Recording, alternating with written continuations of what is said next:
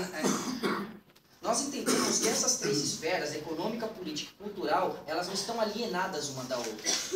Não é, não é, é assim, é, todas elas têm igual importância e devem é, caminhar sempre no sentido de embate constante. Né? É óbvio que quando, poxa, questão de classe, né? eu acho que assim, se eu fosse, sei lá, um, simplesmente um acadêmico e que tá tudo certo, passo fome e tal, necessariamente já nasci é, numa sociedade patriarcal e machista, né, privilegiado por ser homem, então para mim estaria tudo certo. Agora sim, vamos pensar o que, que é uma mulher pobre, negra, lésbica que mora na periferia. Para ela, a questão de classe, acho que está muito evidente. Todas as esferas de dominação possível estão em cima dessa pessoa. As pessoas que estão lá sofrendo na hora de pagar o busão lá, tem que pagar, arrancar 20 centavos que no fim do mês vai reverberar de uma forma absurda no salário. Então, economia, até economicamente falando, eu acho um absurdo. Ainda existe extração de mais-valia e tudo isso daí. Então, é, a, a, a, se for para o sentido economicista, marxista, pô, com certeza existe classe existe dominação. Nós temos uma pequena oligarquia em que os, os interesses são opostos ao da grande massa. Então existe sim diferença de classes, né? E é, e é com essa pequena minoria privilegiada que a gente quer expropriar, né? Que a gente acha que tem que ser expropriado. Apropriação privada da terra, concepção imperialista, né? É, que, tá, né? que permeia, inclusive, aí a mentalidade da, da classe popular, e aí a gente entende quanto que a pedagogia é importante para poder dar esse embate né, na, na, no plano do simbólico. Eu não sei se eu estou falando de mais posição pessoal, eu quero tipo, meio que intermediar assim, o que, que é discutido na organização o que é posição pessoal que é, tem diferença. Né?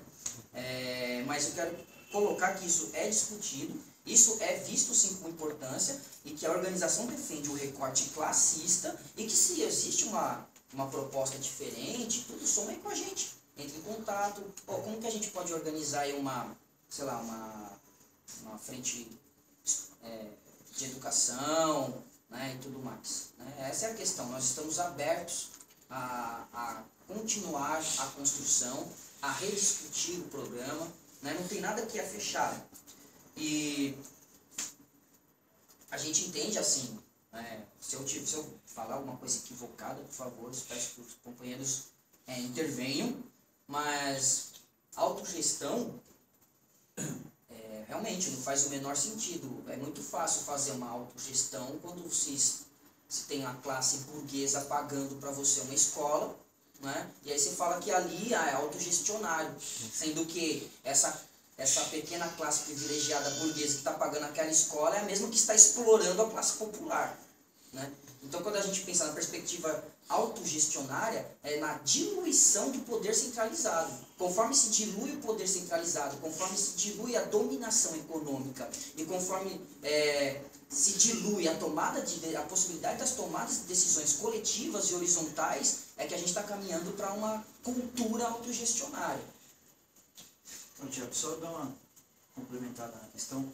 A frente de educação ela procura trabalhar assim, a vai até o movimento social, o movimento social ouve né, as necessidades do movimento, e aí em cima dessas necessidades a gente procura elaborar os cursos, e começa a ter um diálogo né, direto com, com o movimento para do que ele está realmente necessitando, do que ele precisa, a sua formação. Então não é uma coisa que a gente vai lá e impõe, ó, oh, nosso modelo de educação esse aqui está pronto e acabado. Então existe essa, esse diálogo, essa troca, né, essa relação de ir lá, ouvir, e em cima da, eles colocam, a gente procura estar tá elaborando os cursos. Esse é um, é um dos princípios que a gente está utilizando para fazer a formação dos cursos e poder levar né, um pouco que a gente sabe até o movimento social. Mas é importante lembrar também que é, a gente tem que pensar que educação a gente está falando. Né? Se é a educação da escola, conteudista, e que cai, querendo ou não, num parâmetro reacionário, né? É, tecnicista, e que transforma a classe trabalhadora né, uma educação técnica e para a classe dominante uma educação acadêmica reflexiva. Né?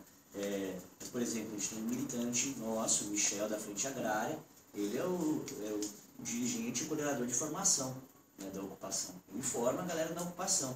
O movimento popular, por exemplo, tem ótimas experiências em educação popular. O MST tem a Ciranda, que é um trabalho que desenvolve muitas crianças de um acampamento, de uma ocupação, e quem for vai ver a diferença daquela criança em relação a outras que frequentam simplesmente a escola. Né? Na consciência, na concepção que ela tem, você ver, por exemplo, na marcha da MST que a gente pôde participar, um moleque de 12 anos pegando o microfone na frente da prefeitura e criticando o prefeito porque não tinha creche para os irmãos dele, porque que não tinha escola, porque que não tinha saneamento no barraco dele, sabe? Então a gente tem que saber muito bem que projeto de educação é esse, acho que vai depender, né? Tem que ver onde tem esse espaço e como isso pode contribuir para o nosso projeto de poder popular, que, imbricadamente, é impossível se dizer poder popular na nossa concepção sem a autogestão, né? A autogestão classista, no movimento popular, com os trabalhadores e trabalhadoras. Né? Então, acho que isso tem que ser pensado e refletido. Né? Uma coisa que eu queria colocar, que acho que para reforçar uma coisa que foi falada, é assim, a gente às vezes faz essas falas, a gente até na última na última Assembleia Geral, nós falamos, pô, às vezes a gente vai nesses lugares, aí as pessoas acham que a nossa organização, meu, é uma potência, que já tem tudo discutido e fechado. É, é sempre a gente bom falar assim, a gente tem alguma certeza e um monte de incerteza, né? Muito, algumas questões que a gente discutiu e um monte que a gente não discutiu. Então, a gente não tem e nem acha que tem que ter posição sobre absolutamente tudo e todas as questões. Então, tem algumas que, pela pela história, pela urgência, a gente discutiu mais. Então, por exemplo, essa discussão organizativa foi uma discussão que teve um acúmulo grande, mas tem outras, por exemplo, como a questão de gênero, que recentemente a gente vem é, colocando a necessidade de se discutir, temos começado a fazer uma discussão. Tem outras que a gente tem uma discussão muito ruim, assim, por exemplo, é, ah, pegar a questão de raça e etnia é ruim, assim. Né? Tem lacunas, porque a gente não, não tem a gente foi fazendo escolhas aí, como a gente tem feito essa, por exemplo, de gênero, porque a gente tem visto a necessidade, a gente tem visto que tem, tem um monte de lacunas e, e, e, e, a gente tem um monte de, ou seja, tem espaço, tem questionamento, tem questões que a gente não tem posição. Tá? Então a gente faz questão, como a gente não tem uma, sei lá, dois, três, quatro dirigentes que produza a linha teórica da, da nossa corrente, a gente não tem leitura sobre absolutamente todos os projetos, o que está acontecendo na política internacional. A gente não fica soltando comunicados sobre, sei lá, é, sei lá, o conflito na Síria. É sério. Isso é, é, é muito comum em algumas organizações da esquerda, porque a gente vai um pouco nessa coisa de conforme a necessidade, tem abertura, né? e tem uma coisa que acho que isso difere um pouco da primeira geração, a primeira geração, a acompanhada que começou, ela tinha muito essa coisa de, primeiro, uma certeza em relação à a, a, a, estratégia e tal, que a gente acha assim, quanto mais trabalho social você faz, mais cuidado você passa a ter. Porque você vai ver que assim, você ficar defendendo programas e certeza, aquilo ali, conforme você vai colocando em prática, a coisa fica diferente. Essa coisa de você ficar defendendo, por exemplo, um determinado caminho com a maior certeza do mundo, isso era um pouco como assim, agora tem que ser no sem teto. Daí todo mundo parava o que estava fazendo e sem teto, toda a organização. Agora é sindical, todas as organizações sairiam de estar e entram no sindical.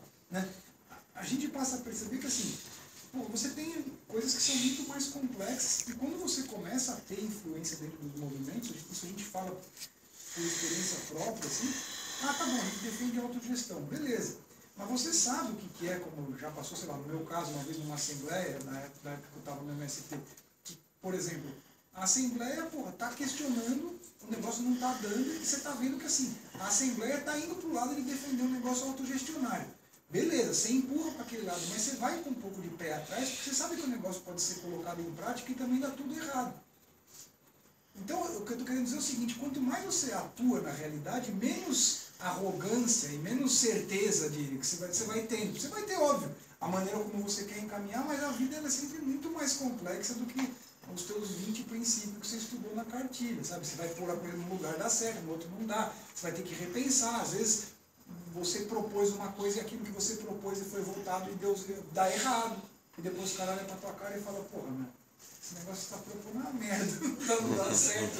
E você tem que repensar e tal. Então, assim, é, é isso que pra gente é participar da política. Muito mais do que levantar a mão e ficar gritando frase de efeito que pra gente não, não muda nada, é você conseguir testar isso aí né? e ir aos poucos, porra, é, vendo como é que isso funciona na na prática, né? E com essa abertura, com essa abertura para receber porra, críticas, a gente discute, né? Às vezes parece que a gente é meio tratorzão assim, mas pô, a gente discute, sabe aceitar crítica. Quem é mais novo sabe que pode fazer crítica aos mais velhos, não tem nada, né? Ou seja, tem respeito, etc. Mas pô, a coisa pode ser feita. E aí uma outra diferença em relação às outras, é, ao nosso próprio início aqui, né? A gente tem tentado aproveitar muito do que as pessoas já estão fazendo no momento que elas ingressam na organização. No começo da nossa organização, a gente tentava fazer uma avaliação e direcionar muito a militância para onde a gente achava que ela tinha que estar. Uhum. Né? Como a gente conseguiu dar essa cobertura mais ou menos geral na militância, vamos dizer, nos campos, a gente tem tentado porra, pegar o trabalho que a pessoa já tem uma experiência, por exemplo, porra, mora num bairro de periferia, tem alguma experiência com associação de bairro. Beleza, a gente vai passar a incorporar isso né, e a discutir um pouco da intervenção nesse trabalho. A gente, isso foi uma posição nossa adotada faz mais ou menos uns três, quatro anos, quando a gente pensou, né, vendo que a gente estava tendo um desgaste da militância muito grande, porque começou a dar uma coisa que qualquer um que milita aí em movimento né, mais regular e tal, sabe que tem dado muito, e a esquerda discute isso muito pouco, que é essa coisa de os, o pessoal pifa, né? Pifa de vários jeitos. Pifa com crise de estresse, outros com depressão, outros da crise de síndrome do pânico, etc. Isso aí é tudo fruto, às vezes, de uma demanda que o cara não está conseguindo, o cara, uma mulher, não está conseguindo aguentar. Então, a gente teve problemas um pouco desse tipo, tá? e começou a repensar o seguinte, como é que a gente pode, por um lado, aumentar a, o nosso nível de, de eficiência nos trabalhos e, por outro lado, descarregar um pouco a militância. Primeira questão que a gente tomou em conta, o cara tem que militar preferencialmente onde ele trabalha ou mora ou estuda. Esse negócio de você ficar gastando, que a gente teve muito, você gasta três horas para ir no teu espaço de militância e você depois gastar três horas para voltar e lá, assembleia, isso aqui, trabalho de base demora pra cacete, isso aí, a tua intervenção no local é, é, é falha, porque porra, você não está lá o dia inteiro, todos os dias, etc. E você tem um desgaste da militância que é gigantesco.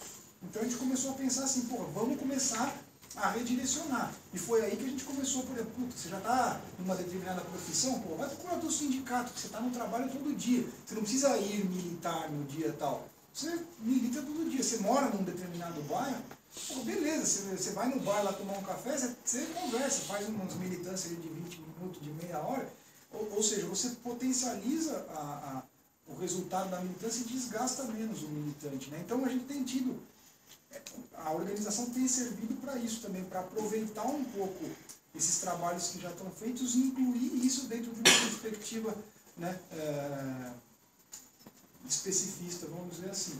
Então, é, num determinado momento a gente começou a pensar como é que a gente se posicionava em relação às questões né, de gênero, num determinado momento a gente chegou e fez essa discussão de educação. Né, a gente, é exatamente isso que o Paulo falou. A gente falou, puta, tem algumas pessoas nossas aqui trabalham com educação, mas não conseguem se sindicalizar. O sindicato tá foda, né? Para contar um exemplo pessoal. Eu dou aula, só que eu não sou empregado de carteira assinada, não dá para me sindicalizar. Eu, eu ia tentar me sindicalizar nos sindicatos, aí eu falei, ah, beleza, vou tentar me sindicalizar nos jornalistas, que onde eu sou formado.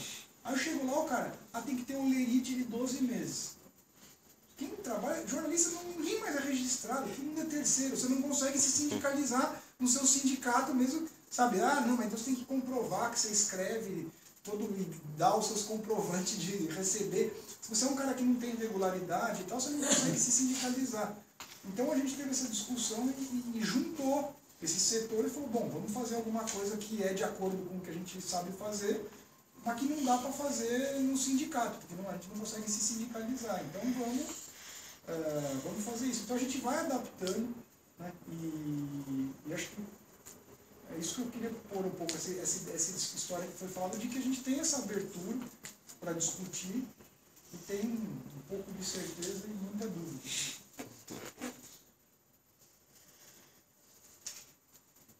Você explicasse sobre a diferença do especificismo na, em outros países latino-americanos, principalmente na Venezuela, que tem gente que nem sabe o que, que aconteceu né?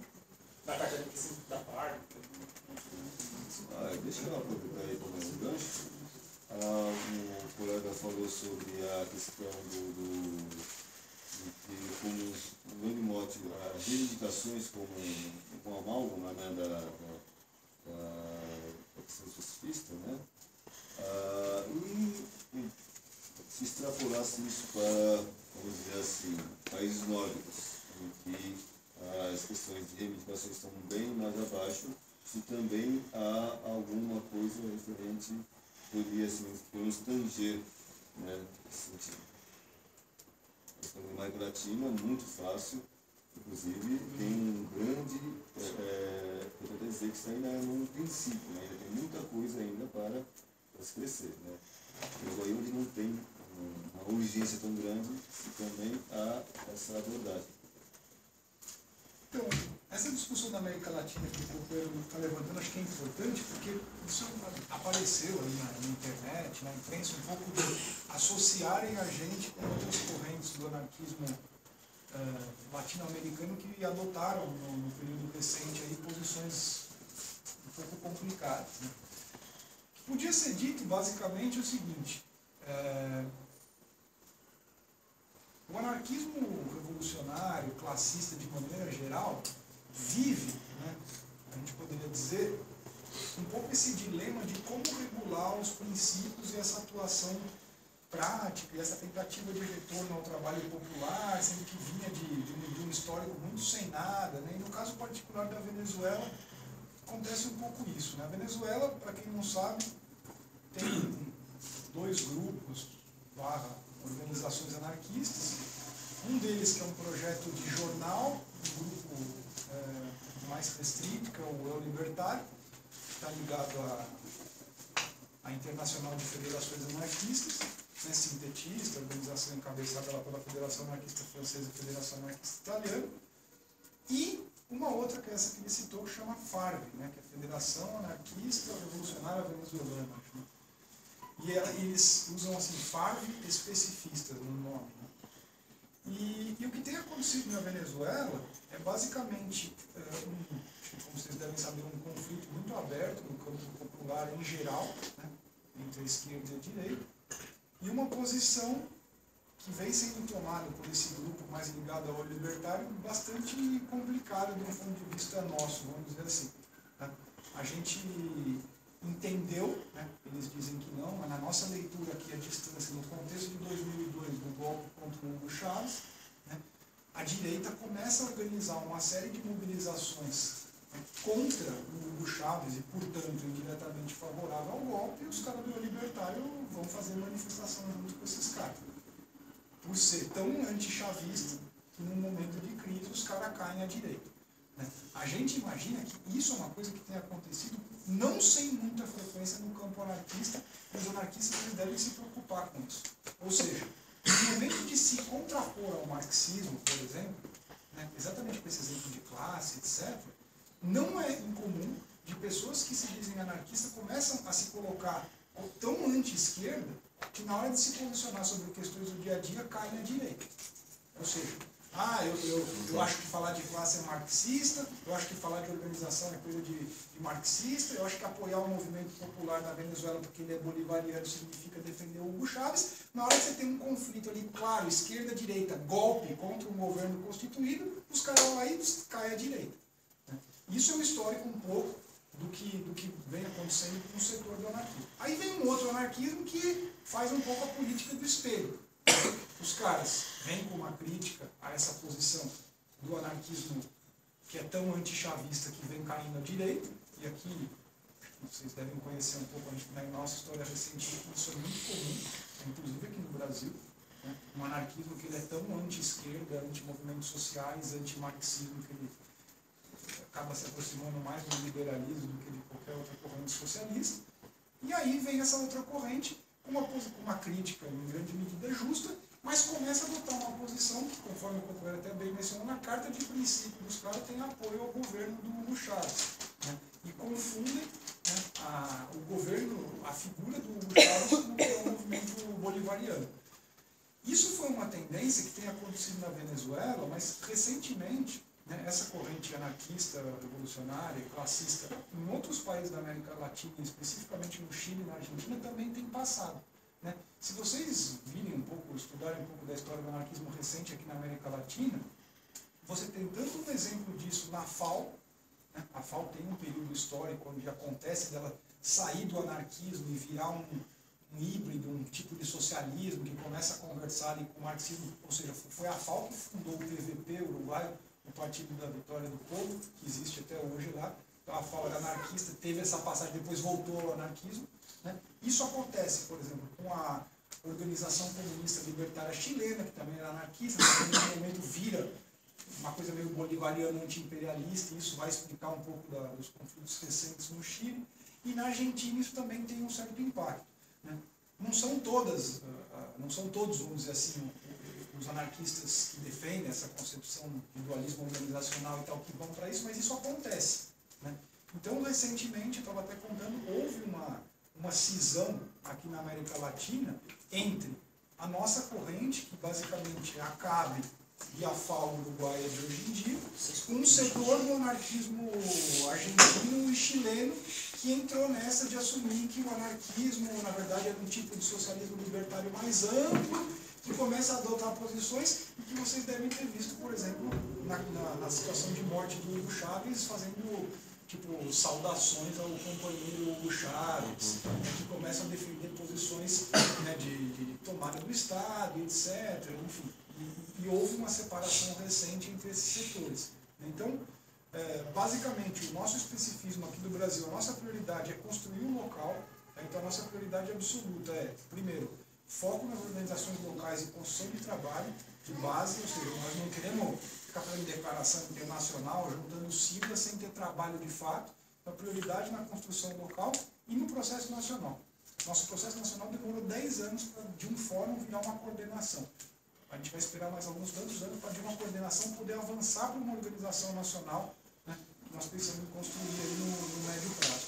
Internacionalmente, nós temos dois contatos fundamentais. O primeiro deles, FAO, Uruguai. Segundo deles, Zabalasa, África do Sul. Então, esse é o triângulo que a gente vem construindo. Temos, por relações na, na, Argentina, por exemplo, as, as colunas, né, coluna Joaquim Penina de Rosário, Malatesta do Ruth de Buenos Aires, temos uma série de outras relações aí pela, pela América Latina e pelo mundo.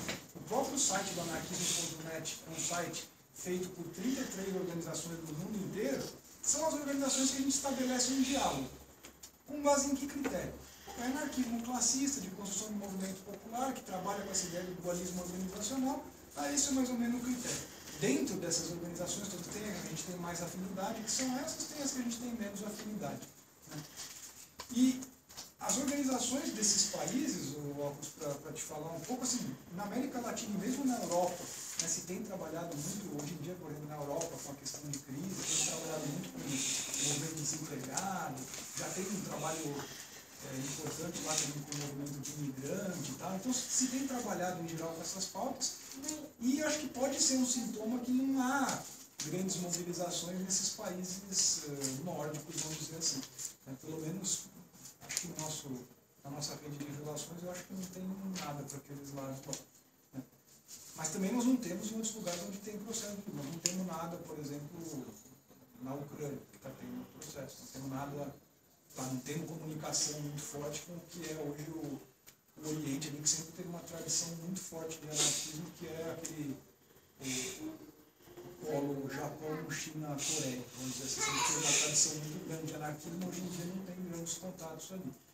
Então, a, a rede que tem se constituído recentemente é basicamente Américas em geral, tem Estados Unidos e Canadá, alguma coisa, Europa e agora mais recentemente África. Né?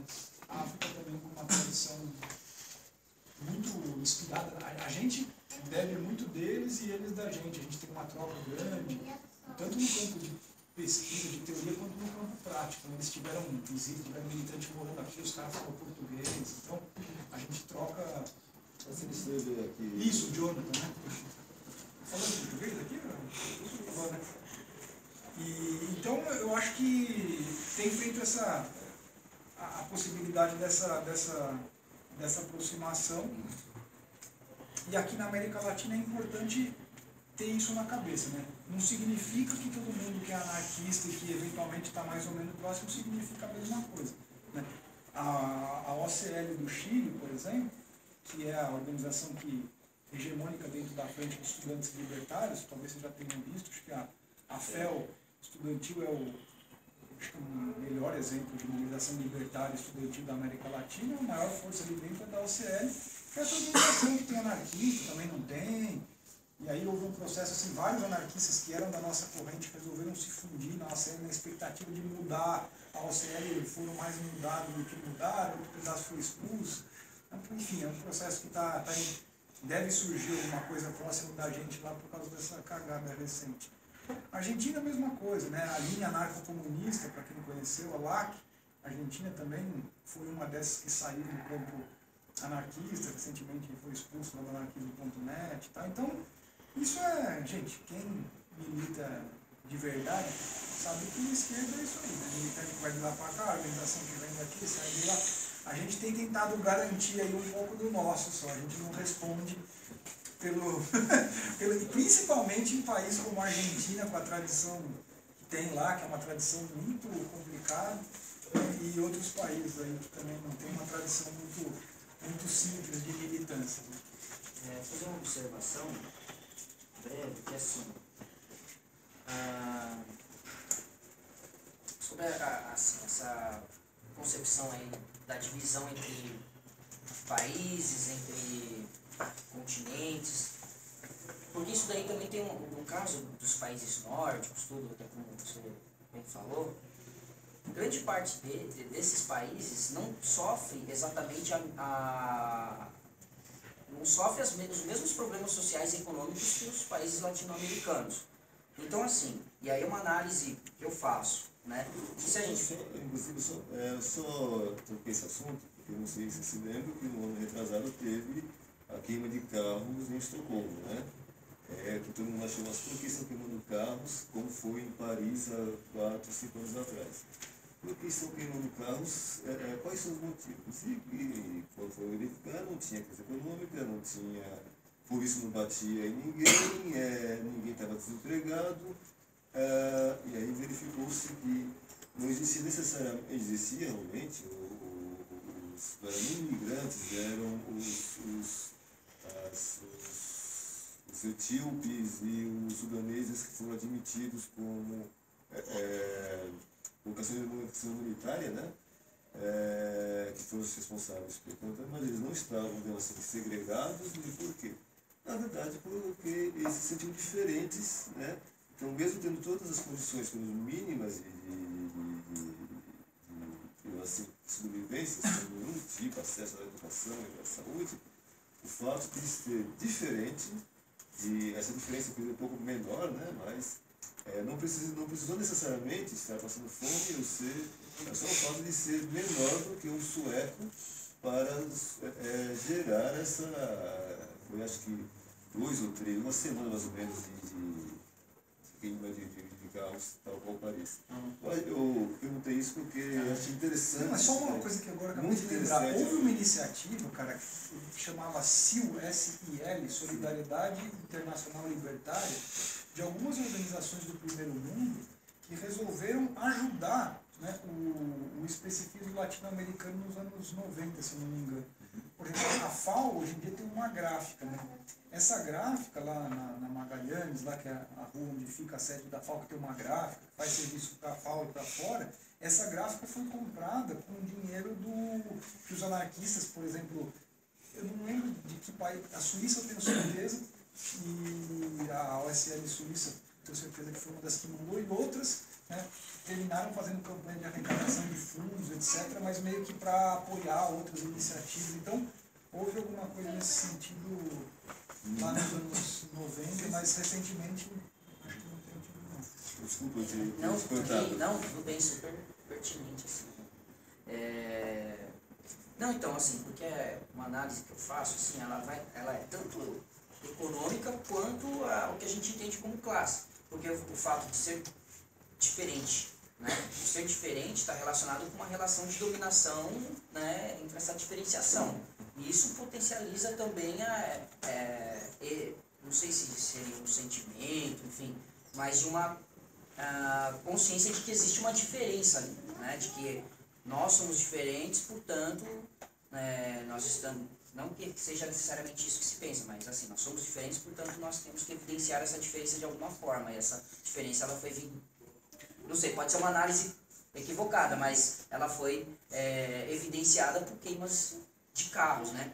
Agora sim, se a gente for pensar na perspectiva de baixo para cima, né, que é o que a gente entende como né, a, necessidade da base se sobrepor à, à hierarquia, ou seja, né, é, que a mudança deva ocorrer de baixo para cima, e aí sim entra a perspectiva econômica. Se você tem os países dominados, explorados pelo imperialismo, se mobilizando por conta da sua realidade social e econômica, inevitavelmente isso vai causar consequências econômicas e sociais em outros países imperialistas. E isso se torna muito claro quando você tem países como a Grécia, que, e aí chegou aquele momento em que eles não conseguiram dar conta lá da União Europeia e virou aquele, aquele balaio de, de guerras e, e mobilizações populares e revoltas e insurrecionais e tudo mais.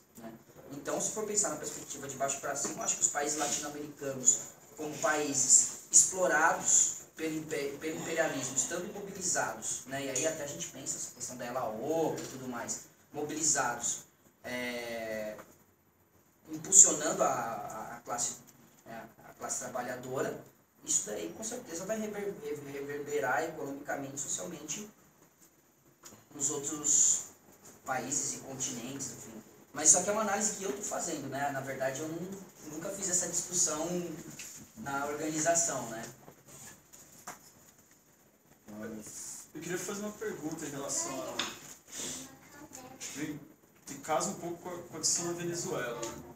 É, que acho que tem outro ponto que qualquer organização de esquerda que tem algum princípio internacionalista é, se posiciona né? É, em relação a Cuba. Né?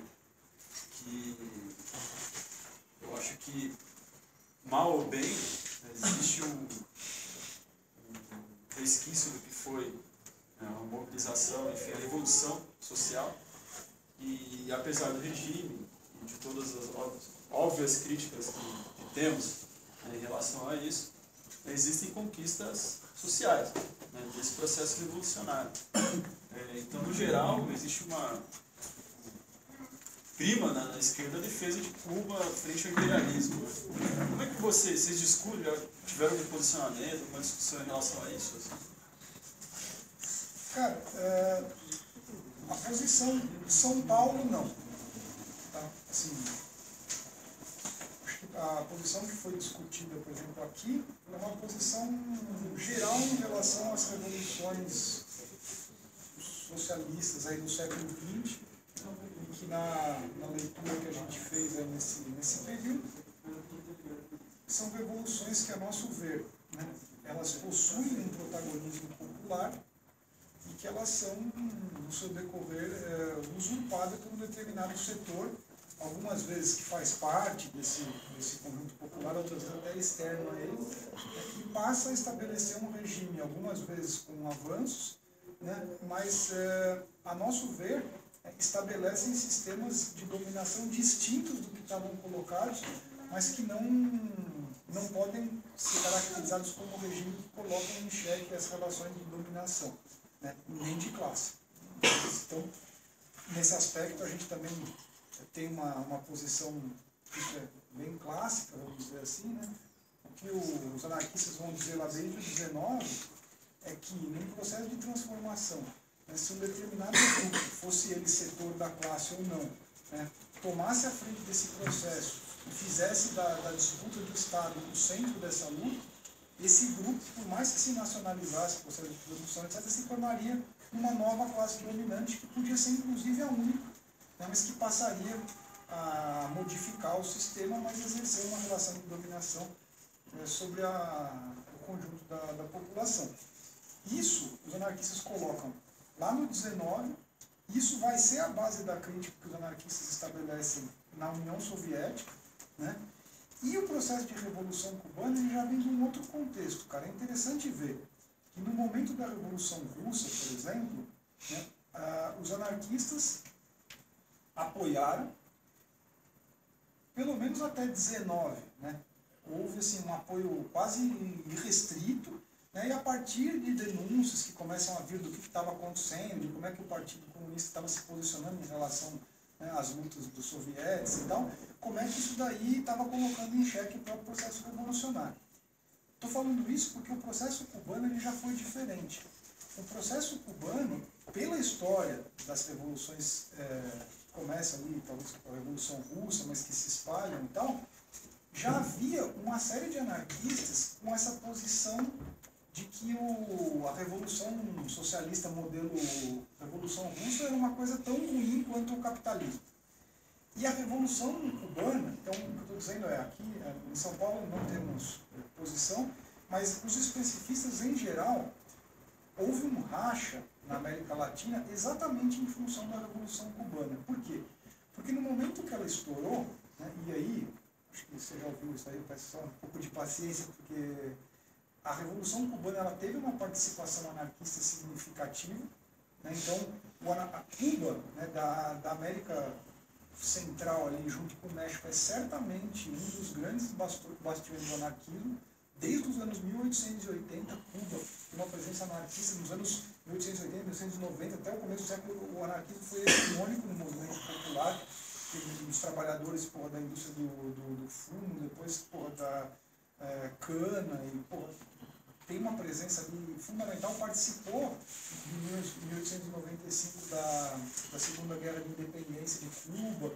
Né? Enfim, o anarquismo ali tem uma participação significativa e teve uma participação na Revolução Cubana, né, que foi depois apagada da história pelo, pelo, pelo próprio própria maneira como a história cubana foi contada.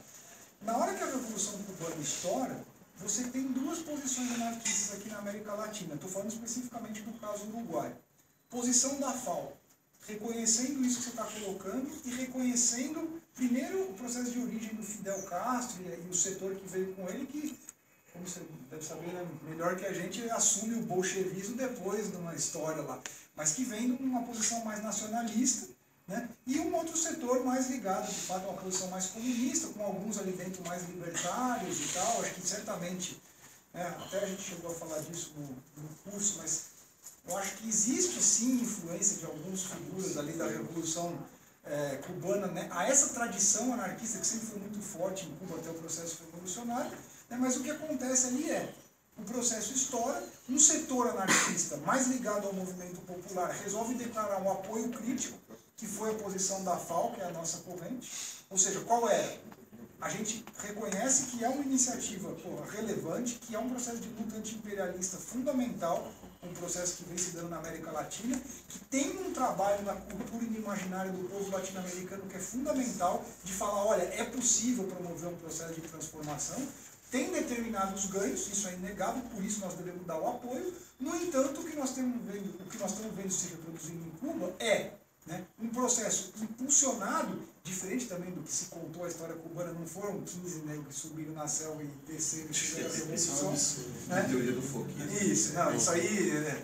assim, teve um processo de base, de enraizamento, teve um apoio popular que assim, não surgiu na hora que os caras Sindicato. Sindicato, porra, os próprios trabalhadores teve. E não foi porque eles desceram armado que os caras olharam e falaram, eu vou apoiar. Viva os barbudos. Isso, teve um processo preparatório, significativo, e os anarquistas viram que assim, esse processo estava sendo usurpado por uma minoria que se colocaria no poder e estabeleceria algo similar ao que teria acontecido na, na União Soviética. Aí o que, que acontece no anarquismo uruguaio, por exemplo?